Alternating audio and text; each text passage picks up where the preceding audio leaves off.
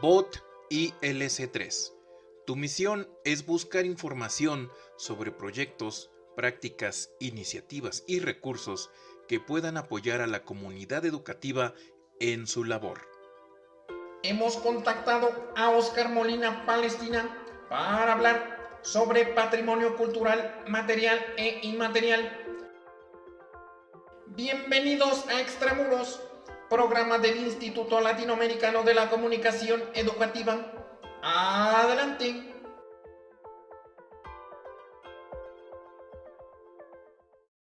Hoy en Extramuros nos acompaña el doctor Oscar Molina Palestina, profesor del Centro de Enseñanza para Extranjeros, CEPE, Centro de Enseñanza para Extranjeros de la Universidad Nacional Autónoma de México. Bienvenido, Oscar. Qué gusto tenerte con nosotros en un tema tan interesante como es patrimonio cultural, material e inmaterial. ¿Qué tal, Claudia? Muy buenos días. Bien, pues una servidora Claudia Forastieri les da la más cordial bienvenida. Oscar, ¿y qué te parece si vamos con esta primera cápsula para adentrarnos de lleno en el tema? Con la Convención en 1972 para la protección del patrimonio mundial, cultural y natural, la UNESCO establece que ciertos lugares de la Tierra tienen un valor universal excepcional y que pertenecen al patrimonio común de la humanidad, como las pirámides de Egipto, la Gran Barrera de Coral en Australia y las catedrales barrocas de América Latina. Sin embargo, el patrimonio cultural no se limita a monumentos y colecciones de objetos. Comprende también expresiones vivas heredadas de nuestros antepasados, como tradiciones orales, artes del espectáculo, usos sociales, rituales, actos festivos, conocimientos y prácticas relativas a la naturaleza, el universo, saberes y técnicas vinculadas a la artesanía tradicional. Pese a su fragilidad, el patrimonio cultural inmaterial o patrimonio vivo es un importante factor del mantenimiento de la diversidad cultural. ¿Por qué es importante conocer cuál es nuestro patrimonio cultural? Bien, estamos de regreso con el doctor Oscar Molina Palestina, quien es doctor en Historia del Arte por la Universidad Nacional Autónoma de México, además de haber realizado estudios e investigación en la Universidad de Bolonia, Italia, y la Universidad de Santiago de Compostela, en España. Su experiencia en el patrimonio cultural lo llevó a ocupar la subdirección de catálogo y zonas en la Coordinación Nacional de Monumentos Históricos del Instituto Nacional de Antropología e Historia de 2014 a 2017. Ha sido el curador en la renovación de la exposición iconográfica de la historia de nuestra ciudad que actualmente podemos ver a lo largo de la estación Zócalo Tenochtitlan del sistema de transporte colectivo Metro. Actualmente es profesor asociado de tiempo completo en el CEPE de la UNAM, donde imparte cátedras sobre historia y arte mexicano, iconografía e historia de la arquitectura y el urbanismo en la Ciudad de México. Oscar, pues un honor de verdad tenerte con este tema eh, que es apasionante. Desde tu experiencia, eh, ¿por qué debemos ser sensibles a la importancia del patrimonio cultural? Bueno, el patrimonio, perdón, el patrimonio cultural definido como la herencia que hemos recibido de eh, las sociedades anteriores representan aquello de lo cual podemos estar orgullosos, aquello que también nosotros podemos utilizar y a su vez eh, aquello que nosotros vamos a heredar a las futuras generaciones. Entonces, en este sentido, es muy importante que nosotros seamos conscientes no solo de la importancia de todo aquello que recibimos, toda su importancia en el pasado, toda la importancia que podemos darle en el presente, sino también entender que nosotros mismos no somos propietarios, simplemente somos resguardantes de una historia, de una serie de bienes, muebles, inmuebles, eh, tangibles e intangibles, que también heredaremos a las futuras generaciones. Entonces es muy importante entender que nosotros también vamos a formar parte de una historia y que es nuestra responsabilidad eh, de qué manera nos van a recordar en la historia, como individuos, como sociedades que procuramos la conservación de este patrimonio o como sociedades que eh, contribuimos en su destrucción. Entonces, por eso es muy importante entender nuestro papel dentro del patrimonio, no solo para hacer uso de él, sino también para entender que nosotros lo vamos a proyectar hacia el futuro. Bien, Oscar, ¿cómo sabemos si algo puede ser considerado o identificado como patrimonio cultural? E, esta pregunta es muy interesante, Claudia, porque el patrimonio cultural tiene varias vertientes y una de las principales de la que quizá no se habla mucho es la vertiente legal. Eh, ¿Cómo es que surge esta idea de lo que es patrimonial y lo que no es patrimonial, sobre todo en el sentido de sociedades y de naciones? Eh, nosotros podemos entender, por ejemplo, muy claramente cuando eh, llega a haber algún fallecimiento y recibimos una herencia, bueno, eso es nuestro patrimonio. Eh, en esa herencia tiene que haber un documento legal en el cual se expresa qué es lo que recibimos, eh, a cada persona qué es lo que le toca, etcétera. Bueno, algo similar ocurre con el patrimonio desde el punto de vista legal. Eh, el patrimonio, ¿quién lo va determinando? Lo van determinando las diferentes instituciones. Entonces, una institución que puede ser local, que puede ser federal, o inclusive instituciones que se manejan a nivel internacional como UNESCO, eh, lo que van haciendo es determinando y haciendo una serie de eh, listas, de catálogos sobre qué es lo que hemos recibido del pasado y que merece ser conservado, como les decía hace un momento, no solo para nosotros, sino también para las futuras generaciones. Entonces, ¿quién determina lo que es patrimonio y no? Bueno, tenemos una serie de eh, investigadores, una serie de académicos, una serie de instituciones que son las responsables de determinar qué elementos son los que se pueden conservar o no.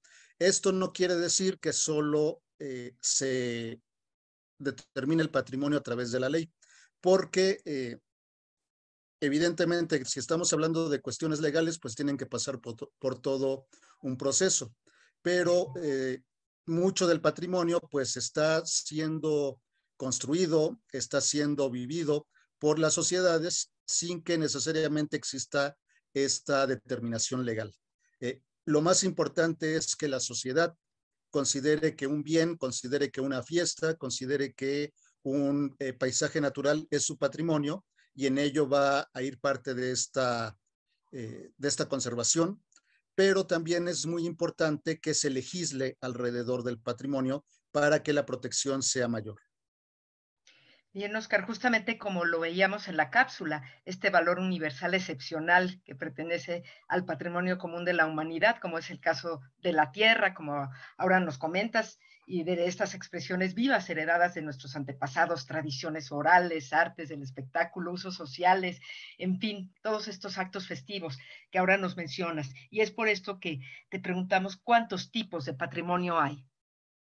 Bueno, también la historia del patrimonio eh, es resultado de una serie de cambios en la mentalidad de las sociedades. Inicialmente, cuando surge este concepto que va muy ligado a los estados-nación, al surgimiento de eh, estos países a partir de la Revolución Francesa, las revoluciones de independencia de muchos sitios, bueno, pues a partir de esta eh, cuestión es que primero surge el concepto de bien. Existe la idea de un bien que estamos recibiendo o que estamos obteniendo, por ejemplo, en el caso de México, eh, en su proceso de independencia, pues en este proceso anteriormente quienes se ostentaban como los propietarios, pues era la corona española. Entonces, cuando México se independiza, está recibiendo una serie de bienes que antes eran de la colonia española. Eh, surge primero el concepto de bien. Posteriormente va a surgir el concepto de monumento. Es decir, dentro de estos bienes hay algunos que por su valor histórico, por su valor artístico, por eh, su valor estético, eh, se les va a considerar como relevantes. Entonces, de la idea de bien, que es algo mucho más eh, extenso, nosotros lo vamos reduciendo al concepto de monumento. se determinan cuáles son los monumentos. Originalmente se hablaba de monumentos inmuebles y monumentos muebles, es decir, inmuebles aquellos que no se mueven, como un edificio, eh, un templo, un palacio, eh, y los bienes muebles, aquellos que nosotros podemos desplazar como una escultura, una pintura, eh, pero esta determinación de monumentos, que fue la que se usó sobre todo a inicios del siglo XX, después mostró algunos conflictos en cuanto a que la definición no era suficiente para entender todo lo que son los bienes patrimoniales.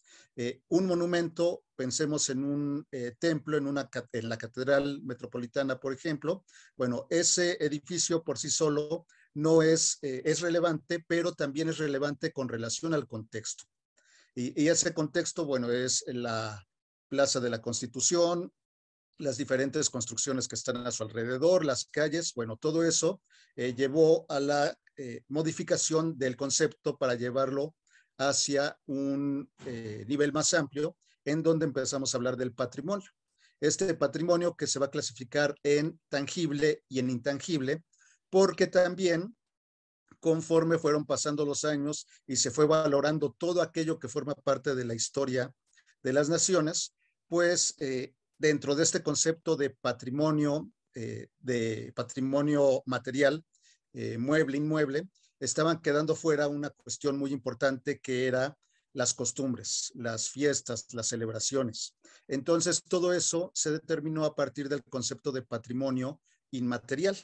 Tenemos nosotros patrimonio eh, tangible o material, patrimonio intangible o inmaterial, que serían las fiestas, las celebraciones, las costumbres, la gastronomía, por ejemplo, que eh, algunos pueblos han, eh, sus gastronomías han alcanzado la categoría de patrimonio de la humanidad, como en el caso de México, con eh, algunas de las producciones gastronómicas que se desarrollan en Michoacán, por citar algunas. Entonces, el concepto de patrimonio cada vez se va extendiendo más y más. Eh, con la intención de proteger todo aquello que es valioso y que podamos heredar a las futuras generaciones.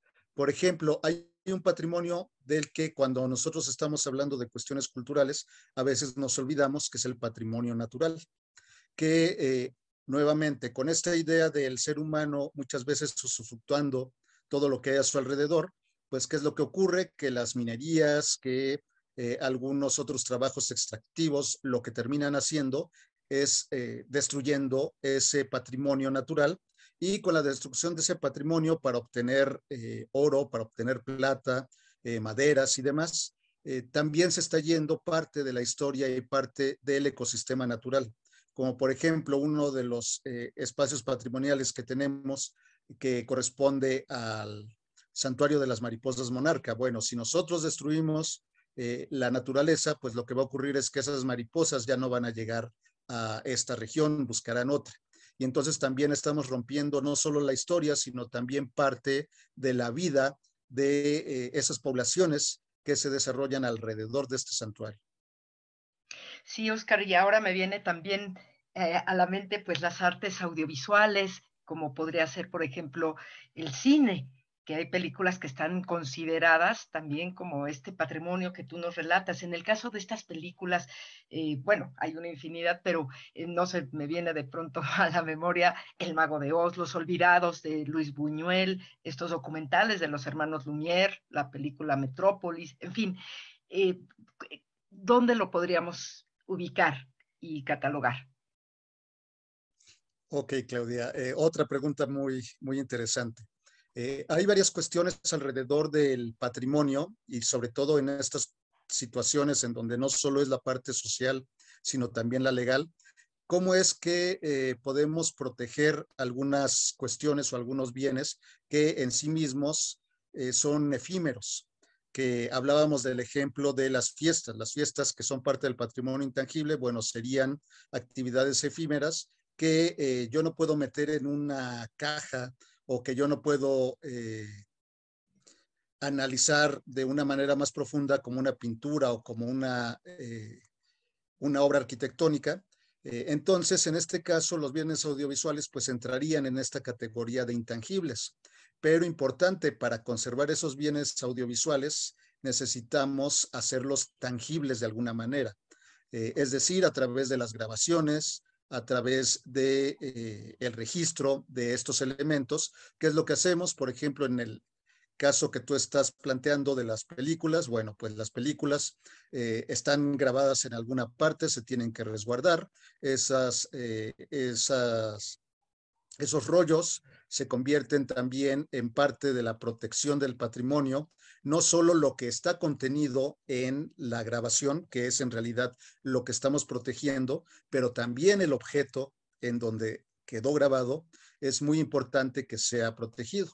Y en este sentido, por ejemplo, también hablando de las tecnologías, Eh, una de las cuestiones más complejas a las que se ha enfrentado el patrimonio, sobre todo del siglo XX, y que lo veremos en el siglo XXI, es que eh, muchos de los elementos que se usan para el registro de estas obras, pues también están siendo menos duraderos de lo que eh, resultaba con una pintura, lo que resultaba con alguna escultura, inclusive una fotografía que se realizaba en el siglo XIX, bueno, pues todavía la conservamos, pero por ejemplo, mucho de lo que hemos estado produciendo de manera digital, pues se está perdiendo, ¿no?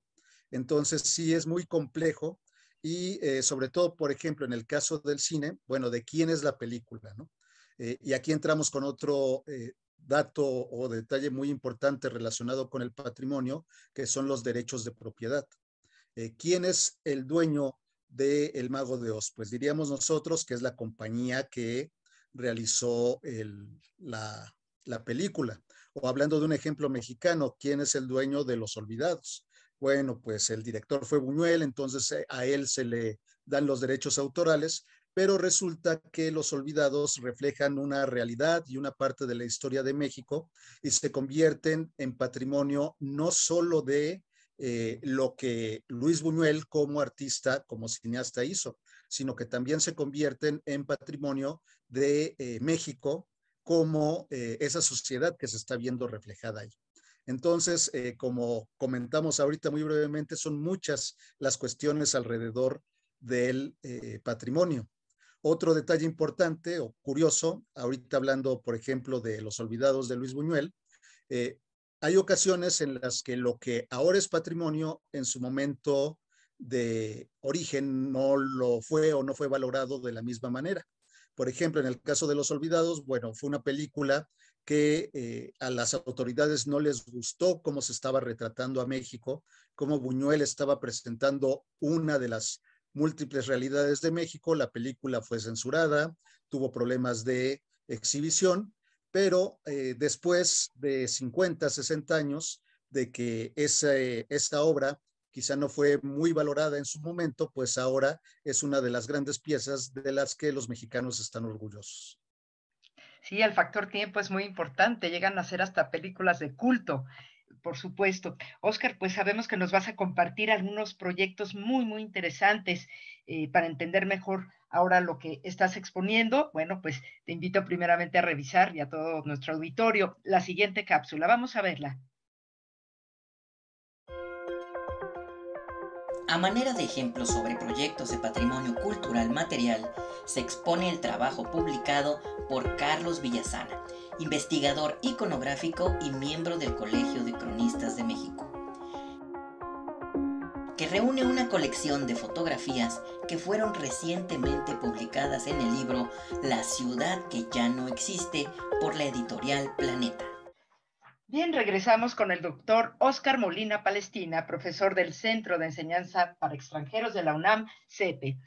Oscar, entrando en materia, tienes en puerta, como vimos en esta cápsula, la presentación del libro La ciudad que ya no existe de Carlos Villasana, que por cierto tuve la oportunidad de tener en mis manos. Es una joya verdaderamente. Eh, así es, Claudia. Dentro del Centro de Enseñanza para Extranjeros realizamos muchas actividades relacionadas precisamente con eh, la difusión de nuestros bienes culturales, tangibles, intangibles, eh, el Centro de Enseñanza para Extranjeros tiene una doble vertiente. Por un lado, eh, es la sección de la UNAM que recibe a estudiantes de diferentes partes del país, a delegados políticos o simplemente a personas que llegan de diferentes países y que les interesa conocer México. Y eh, por otro lado, también tenemos a público mexicano que está interesado en conocer la cultura mexicana.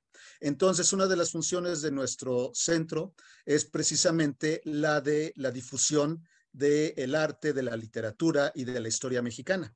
Dentro de esta misión que tenemos, eh, ahora en puerta está la presentación de este libro de La ciudad que ya no existe de Carlos Villasana, en la cual podemos ver parte de esta cuestión que platicábamos de lo tangible y de lo intangible que se va encontrando mutuamente en eh, la vida de las personas. Eh, ¿De qué se trata este libro que, invitamos a, que conozcan? Obviamente a que nos acompañen en la presentación, si no les es posible en vivo, pues queda grabado en eh, YouTube. Trata precisamente sobre el rescate que ha hecho Carlos Villasana de fotografías, de postales que recogen parte de la historia de México. a él se le conoce sobre todo por una página de Facebook que es muy importante, que, que tiene más de medio millón de seguidores, que es la Ciudad de México en el tiempo. Bueno, ¿qué es lo que hace en esta página y que recoge también el libro? Nos presenta imágenes de la Ciudad de México en diferentes periodos. Entonces podemos ver eh, nuevamente el zócalo de la Ciudad de México, podemos ver la Basílica de Guadalupe, podemos ver el Paseo de la Reforma y eh, podemos observar cómo estos sitios se han ido transformando a través del tiempo. Entonces, nosotros podríamos decir que eh, por ejemplo, la Basílica de Guadalupe es patrimonio tangible, es patrimonio monumental, más allá de la cuestión religiosa, pero también ese patrimonio monumental, que es histórico, se va transformando junto con las sociedades. La Basílica de Guadalupe, que muchos de nosotros conocimos hace 20, 30 años, ya no es, por lo menos en su contexto, en sus alrededores, la que ahora podemos ver. Lo mismo pasa, por ejemplo, con la plancha del eh, Zócal.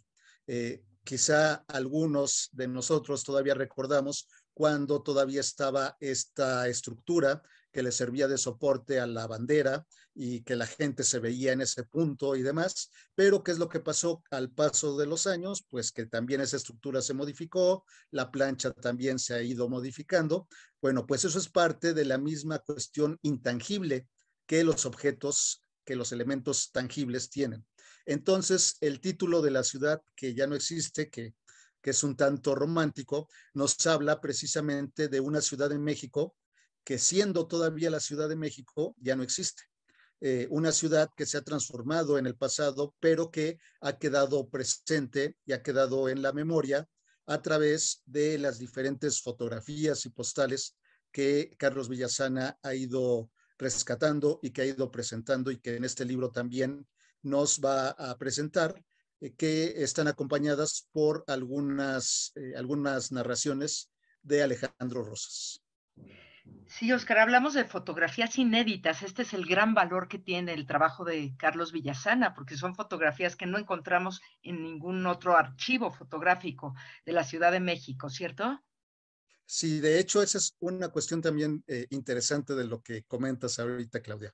Eh, tenemos dos tipos de fotografías, unas que no son inéditas en el sentido de que son postales, entonces eh, también una tradición que hasta hace quizá 20 años antes de que los, la telefonía celular que incluye las cámaras tuviera más presencia, bueno, pues hasta hace, hasta el siglo XX, hasta el siglo pasado, era una costumbre cotidiana la de eh, tomar postales, vender esas postales, nosotros comprarlas, enviarlas a, través de correo y demás.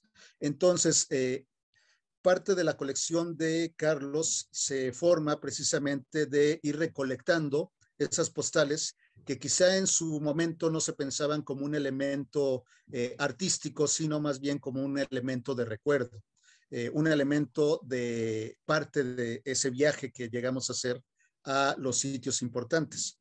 Eh, y por otro lado, la otra parte de la colección, que es lo que nos presenta en una buena parte de este libro eh, del que vamos a hablar, son fotografías de álbumes de familia, es decir, personas, hombres, mujeres, familias que tomaban fotografías eh, para el recuerdo, para tomar a sus niños cuando los llevaban a la Alameda o la que les tomaba el fotógrafo, eh, que todavía podemos encontrar algunos en, ciertos lugares, como recuerdo que se iban al álbum de la familia, pero que al paso de las décadas, eh, al paso del intercambio generacional, podía llegar a ocurrir que ya no significaran tanto para las familias y estas familias, ¿qué es lo que hacían? Pues las vendían o las eh, entregaban aquí eh, un sonido que ahora se ha convertido un tanto patrimonial de la Ciudad de México, por ejemplo, es el de esta eh, jovencita que fue grabada por su padre y que va comprando colchones, etcétera, etcétera, fierros viejos que vendan y demás. y que, eh, bueno, ¿qué es lo que pasa en esa venta de cuestiones que, y aquí tomamos nuevamente esto que estamos hablando, que es el patrimonio, cuestiones que hay familias que recibieron como patrimoniales de sus abuelos, de sus bisabuelos, o inclusive más atrás, pero que para ellos ya no significan. Ellos lo ven como algo que les está quitando espacio. Entonces, ¿qué es lo que han hecho? Pues que los venden. Los venden, los recogemos en algunos mercados, afortunadamente, eh, y eh, ¿qué es lo que hace Villasana? Pues lo que hace es rescatar parte de, esos, de esas imágenes que eh, quizá alguna familia ya no lo vieron como algo patrimonial, se deshicieron de él, pero que ahora resulta que se recogen en un libro y que se transforman en parte de la historia patrimonial de la Ciudad de México. Por eso es muy importante que todas estas cuestiones que platicaba que platicábamos al inicio, Claudia, eh, con relación a las diferentes vertientes que tiene el patrimonio, la parte legal, pero sobre todo la parte en la que quien recibe esa herencia se siente orgulloso de ella, eh, reconozca esa herencia.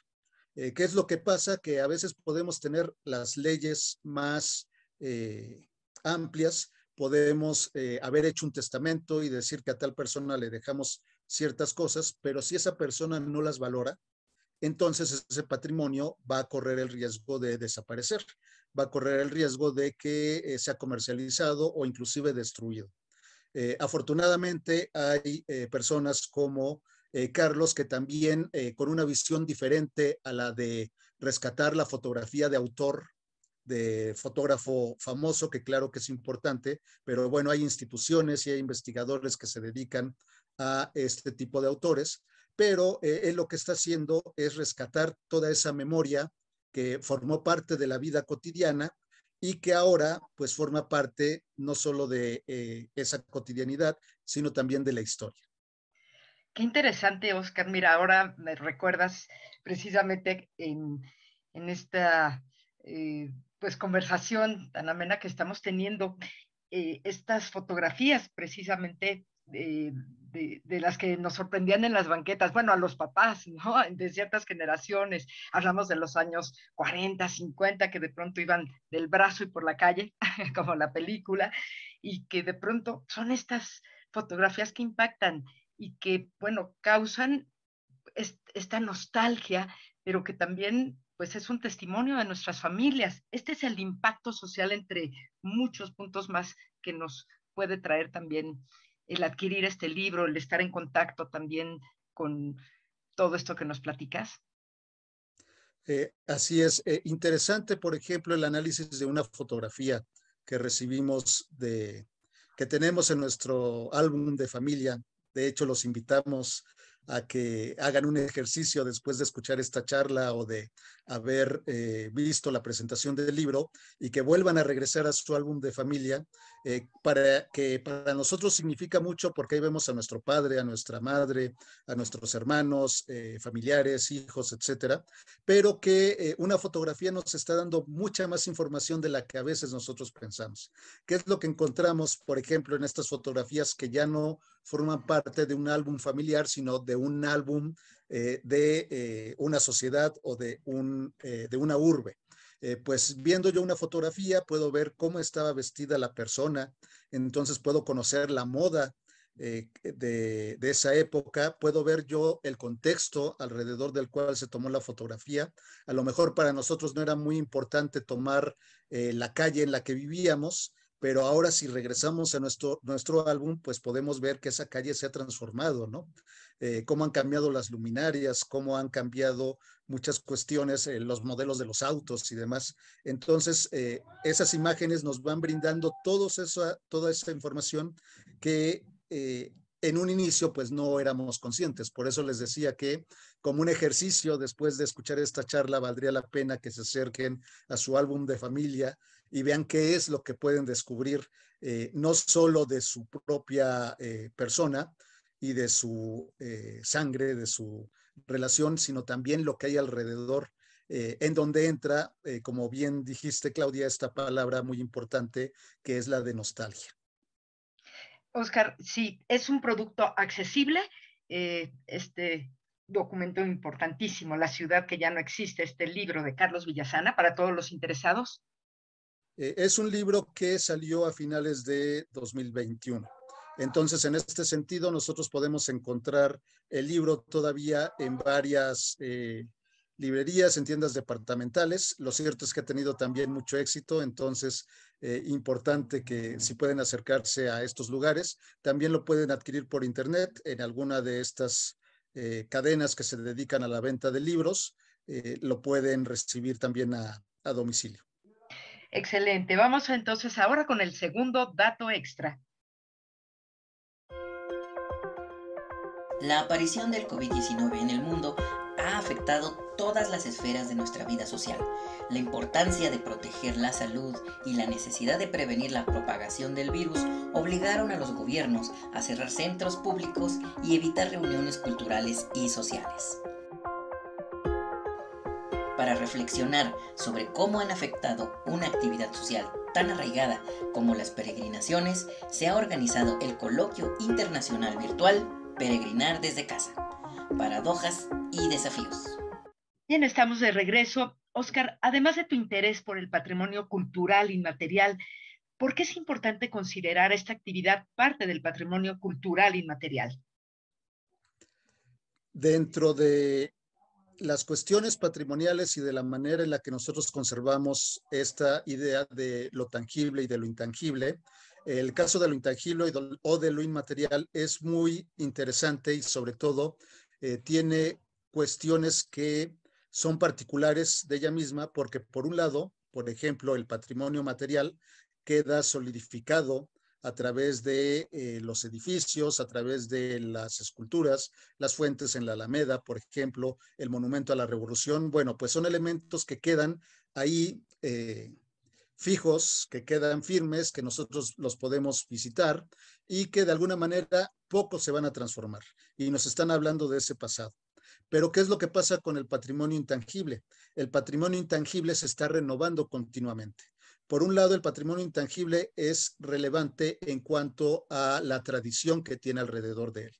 Eh, una fiesta patronal, eh, una celebración, eh, por ejemplo, esta que hemos tenido muy cerca, que es la de la Candelaria, con toda esta cuestión de que la antecede de la rosca de reyes, de los tamales, etcétera. Bueno, pues eso solo puede desarrollarse a partir de la vida continua de las sociedades. Es decir, este patrimonio intangible, a diferencia del tangible que yo lo tengo ahí de manera sólida, el intangible se está desarrollando temporalmente con las propias sociedades.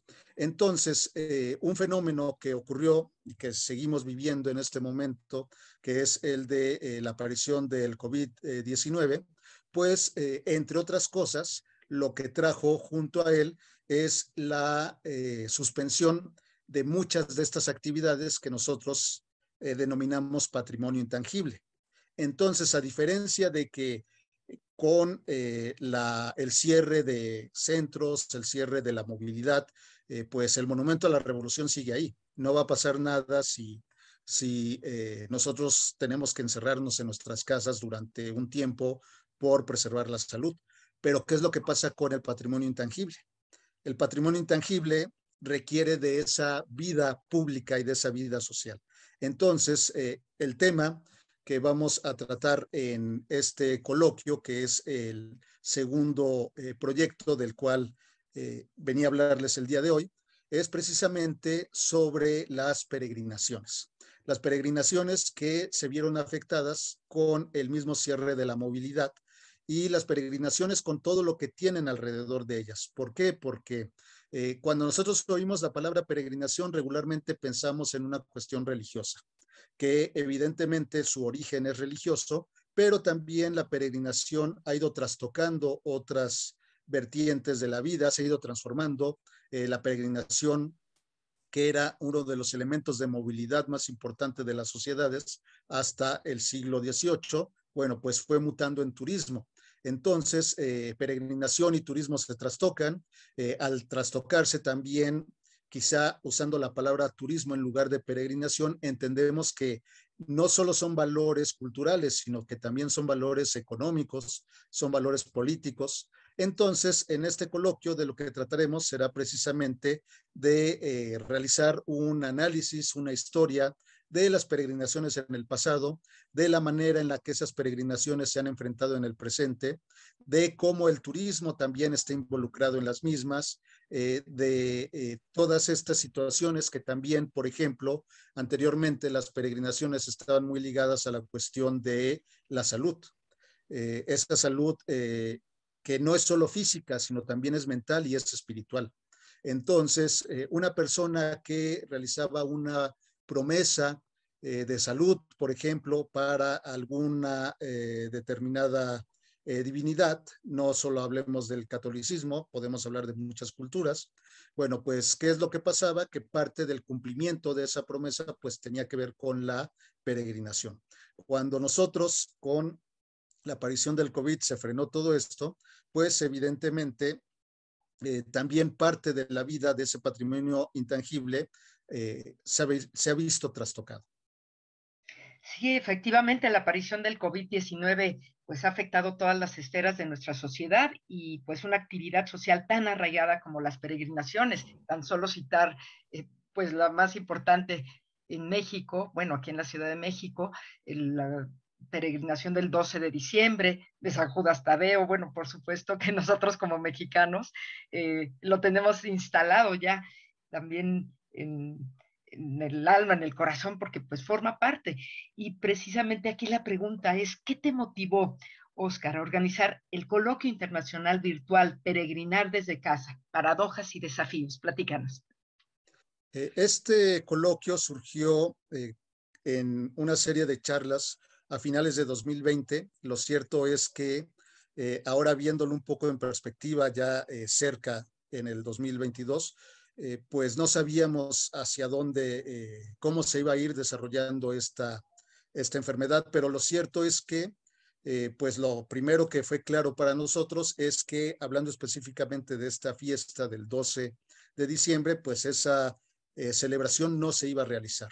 Y el suspender la conmemoración del 12 de diciembre en la Ciudad de México, como bien mencionas, no era solo afectar una actividad eh, religiosa, sino una actividad cultural, eh, patrimonial y también económica. Eh, todo lo que hay alrededor de la movilización de estos cientos, miles, millones de peregrinos que vienen de manera específica en esta fecha, pues a partir de ello es que comenzamos a conversarlo con otros académicos, no solo en México. Evidentemente, ahorita estamos hablando del ejemplo de México, pero no olvidemos que una de las primeras fiestas que se vio afectadas en, eh, esta, en este cierre, pues fue precisamente en Italia, que es en donde empezó en Occidente la pandemia de una manera eh, muy dramática. Bueno, pues se, se suspenden todas las cuestiones de la Pascua, eh, la celebración en Roma. Entonces, ver imágenes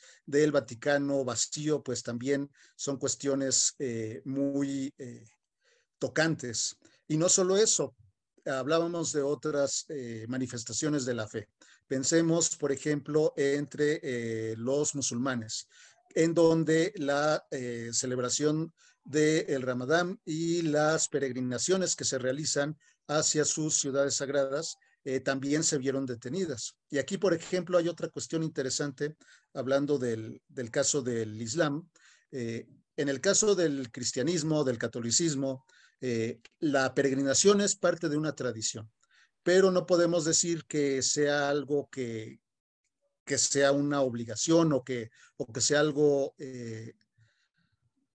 profundo en el sentido de que se encuentre dentro de los mandatos del cristianismo como les comentaba, el asunto del Islam también es muy eh, interesante en cuanto a la peregrinación, porque eh, los musulmanes dentro de sus preceptos religiosos sí tienen a la peregrinación como uno de sus cinco pilares. Entonces, a diferencia del cristianismo, donde es una tradición muy arraigada, muy importante, pero eh, no es algo, un mandato religioso dogmático, en otras religiones o en otros eh, contextos sí lo es. Entonces, el que también se hayan visto afectados por eh, los mandatos de salud, pues evidentemente eh, era motivo de reflexión. Entonces, a partir de esta unión de diferentes eh, reflexiones y de diferentes ejemplos que se estaban dando en varios lugares del mundo, se decidió hacer la convocatoria para este coloquio que tendrá lugar los días 8, 9 y 10 de febrero. Ustedes lo pueden consultar en YouTube a través del canal de CP Videos. está abierto a todo público. Bueno, pues a partir de esta convocatoria nosotros tendremos a una serie de investigadores de diferentes partes del mundo que hablarán desde sus perspectivas y desde sus estudios sobre eh, diferentes aspectos de la peregrinación. Aspectos que, como les platicaba, no solo van desde lo religioso, sino más allá. ¿Quiénes participan, Oscar, en esta organización? Eh, en cuanto a la organización, van eh, esta primera charla que comentamos que empezó a, plantear la propuesta, pues evidentemente como eh, organizador principal la UNAM, pero como colaboradores tendremos a la Universidad Autónoma de Querétaro, a la Universidad Pontificia de México, la Embajada de la República Islámica de Irán en México, la Universidad de Salamanca y la Asociación Nacional de Universidades e Instituciones de Educación Superior.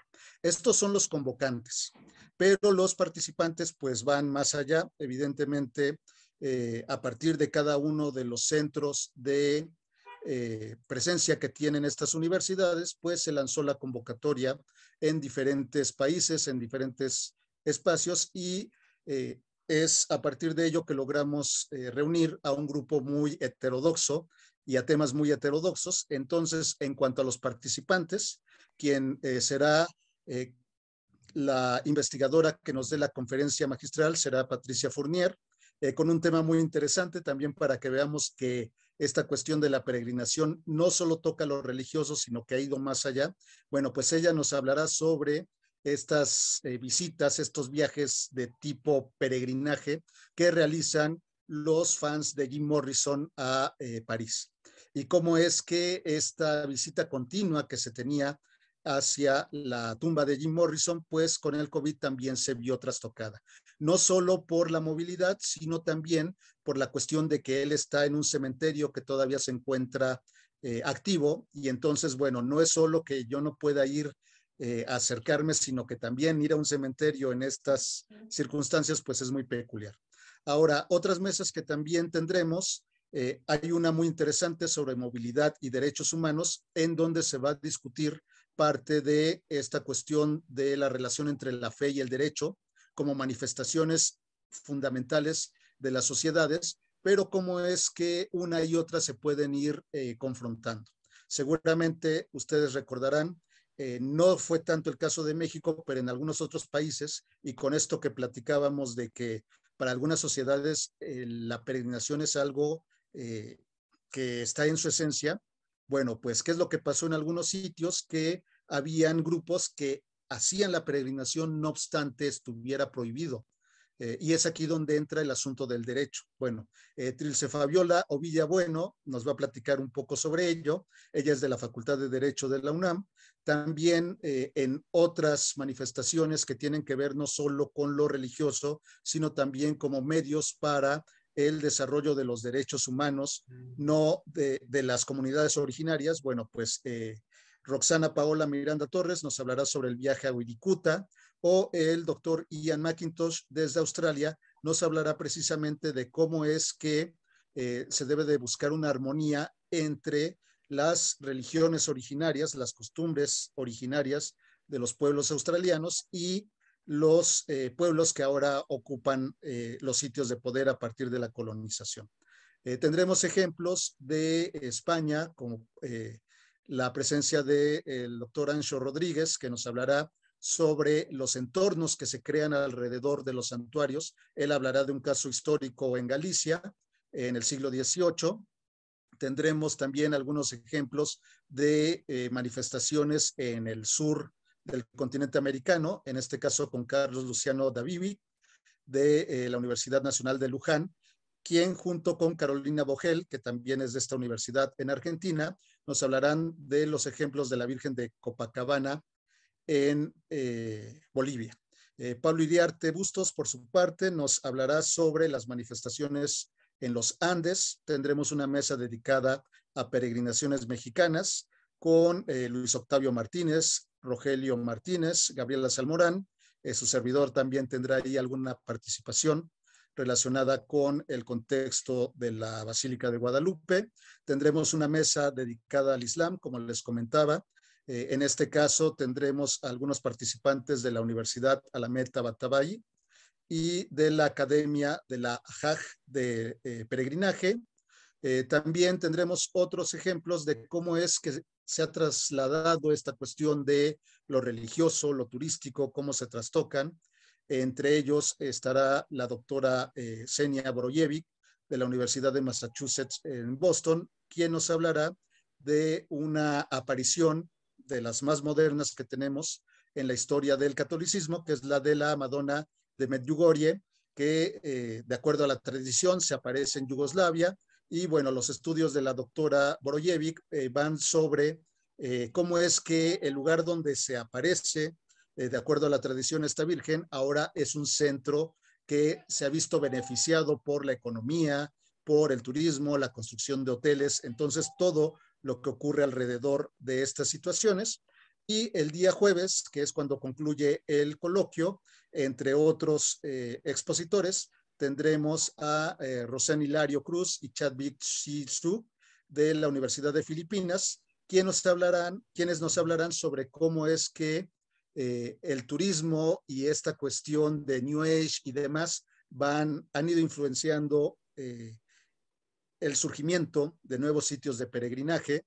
Hablaremos también sobre eh, otras epidemias que han habido en la historia de la humanidad y cómo es que éstas se han enfrentado a través de estas peregrinaciones, como por ejemplo la epidemia de tifus en Braga, Portugal, en el siglo XVIII, de la cual nos hablará María Marta Araujo Lobo, eh, después tendremos a Beatriz Virginia Valdés, que nos hablará de la epidemia de viruela y también otro detalle muy interesante de esto que estamos viviendo, cómo es que llegan las primeras vacunas eh, a México en el siglo XVIII, finales del siglo XVIII, eh, para poder enfrentar a la epidemia y que de alguna manera se confronta con la fe de los pueblos. Entonces, por un lado tenemos la fe de los pueblos que acostumbraban eh, buscar el refugio en eh, Dios para la protección y como la llegada de estos eh, elementos científicos de un desarrollo científico, pues van a permitir no solo contar con la ayuda de Dios, sino también con el desarrollo de la ciencia.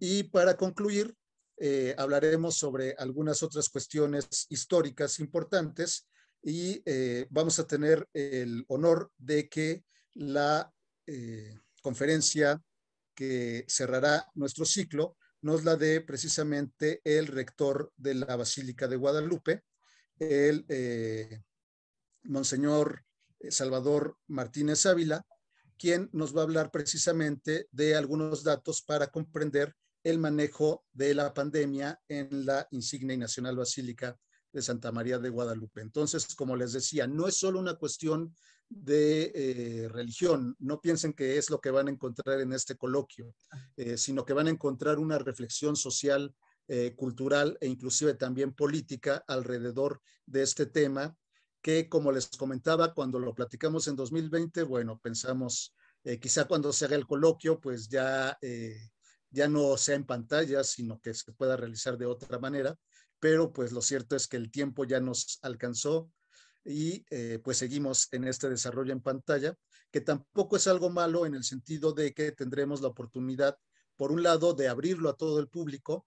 Entonces, este tipo de reuniones que regularmente son reuniones entre pares, cerradas, eh, pues ahora van a estar abiertas a todo el público. ¿Quién va a poder también participar, preguntar a nuestros investigadores que estarán discutiendo en cada una de las mesas?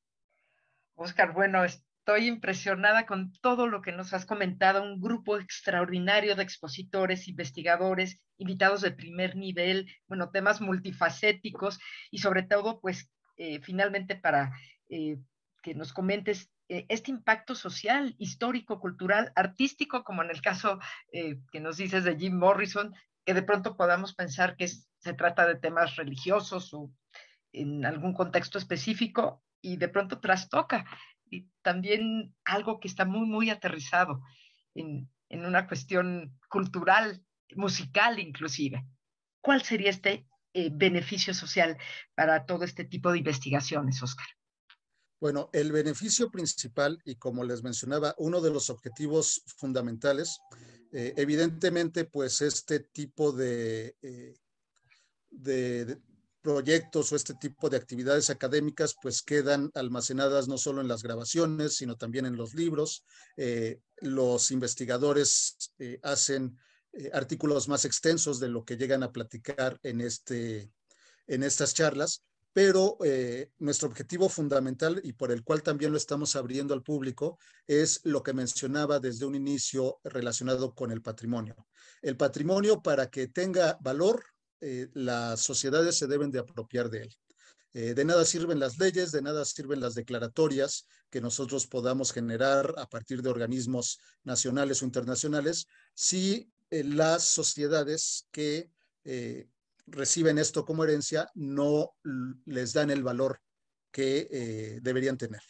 Entonces, ¿cuál es nuestro objetivo principal? La difusión.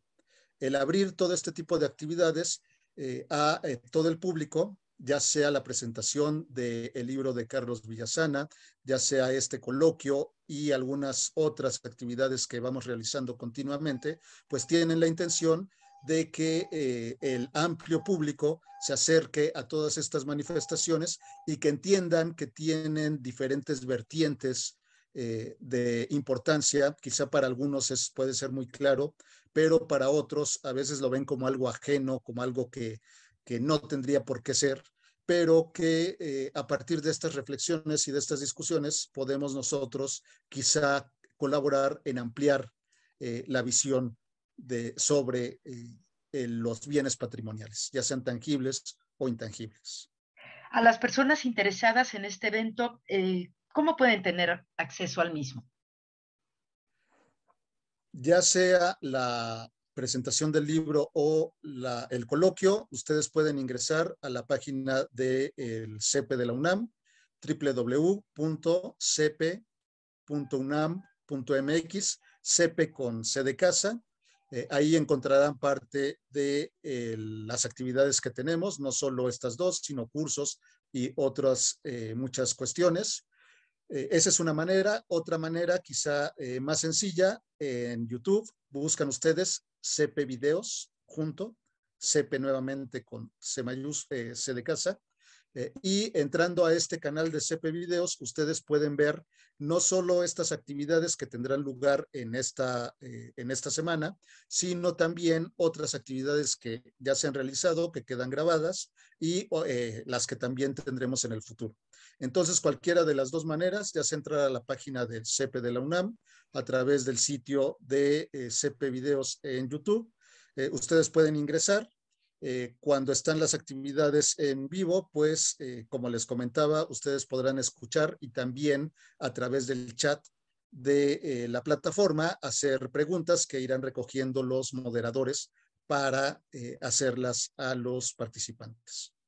Pues les auguramos un gran éxito, sobre todo por el momento histórico que estamos viviendo en este inicio de año, en este 2022, y con todo lo que ha conllevado eh, pues la aparición del COVID-19 y cómo estamos aterrizando ya también en este tipo de eventos en los diferentes ámbitos. Muchísimas felicidades a ti, Oscar, y a todos los involucrados. Esto es realmente un agasajo lo que vamos a tener. Y bueno, pues ahora llegamos a la parte lúdica de Extramuros. Te vamos a invitar a participar en la siguiente dinámica. Es el juego de palabras. Te vamos a ir diciendo una palabra. Y bueno, pues tú nos vas a decir cómo lo relacionas y qué significa para ti. Vamos a este juego de palabras con Oscar Molina. Adelante.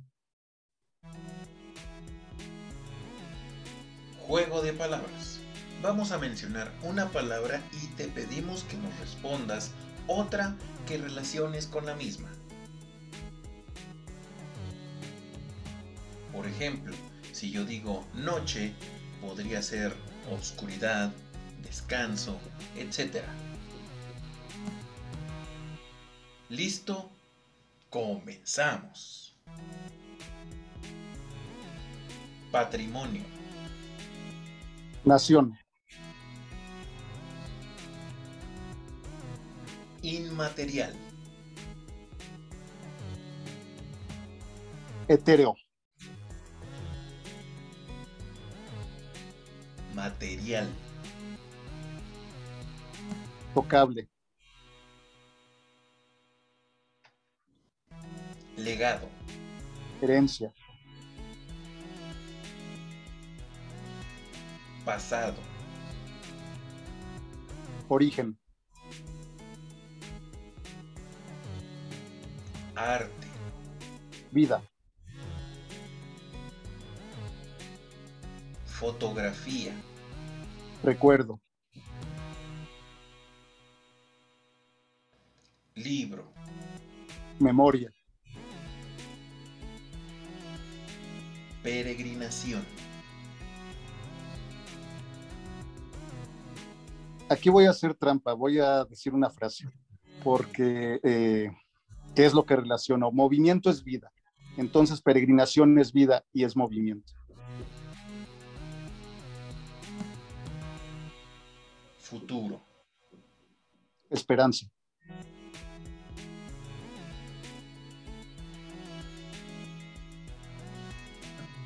Bien, Oscar, hemos llegado al final de esta misión de extramuros a manera de recapitulación de todo lo que hemos visto a lo largo de esta plática, de lo que nos has compartido.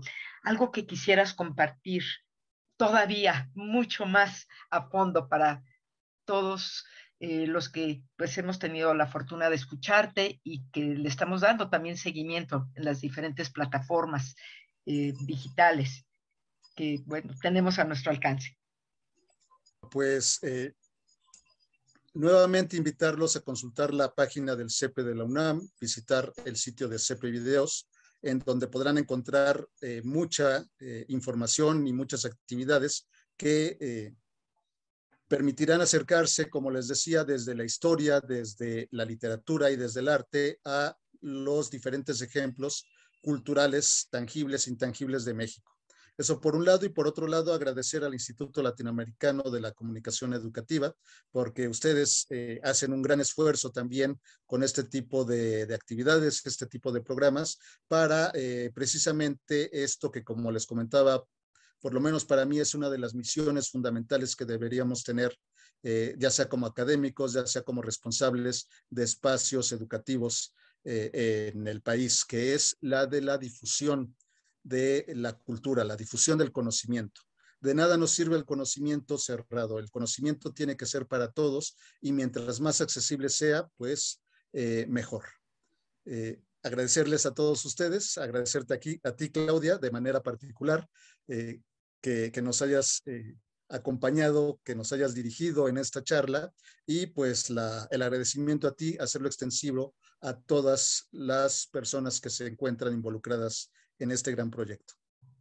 Muchísimas gracias, Oscar. De verdad ha, sido un programa muy, muy importante como nación, primeramente, y para, para el mundo, porque esto permea, como hemos venido hablando, eh, pues todas las capas de nuestra sociedad y todo lo que estamos viviendo actualmente. Podríamos enmarcar precisamente esta unidad dentro de la diversidad y la diversidad dentro de la unidad en este patrimonio cultural material e inmaterial, que ha sido el tema de este día. Queremos agradecer nuevamente al doctor Oscar Molina Palestina, profesor del Centro de Enseñanza para Extranjeros de la Universidad Nacional Autónoma de México. Muchísimas gracias.